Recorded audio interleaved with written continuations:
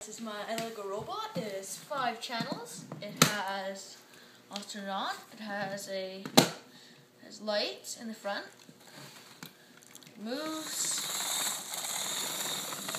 and then blade lowers and spins. Finally, something to chop my sister up with.